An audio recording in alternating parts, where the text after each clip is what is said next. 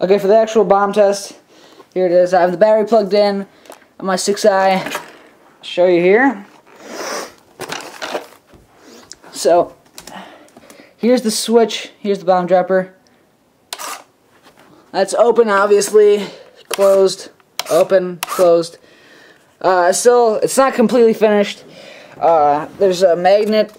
It's supposed to go down like that, but there's a there's a magnet right there, and a magnet up on the top there, right about there, right in there. It's a magnet. Those two go together.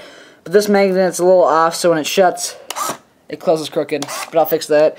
So what we're gonna do is on the bomb drop video, we have, you know, these two bombs. We're going to put them into the bomb dropping actual case itself. What we do is then we close it, you know, basic stuff.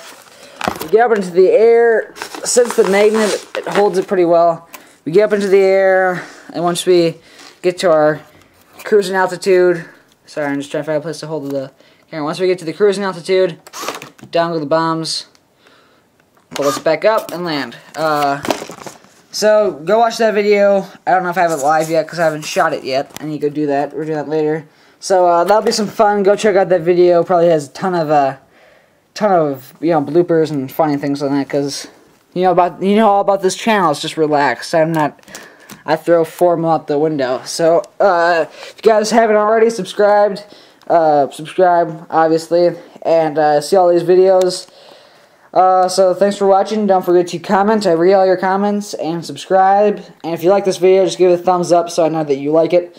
And uh, thanks for watching.